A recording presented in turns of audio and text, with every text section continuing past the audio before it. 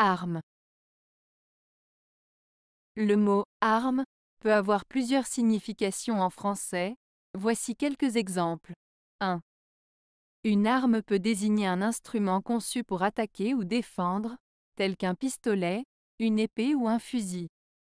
Par exemple, les policiers étaient armés de pistolets et de matraques. Les samouraïs étaient de célèbres guerriers japonais utilisant des armes telles que le katana. 2.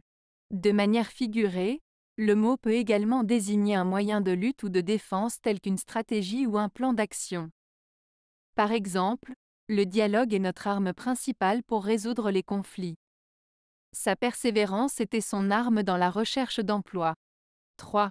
Enfin, arme peut aussi être une forme verbale du verbe armer, signifiant préparer, équiper ou fortifier.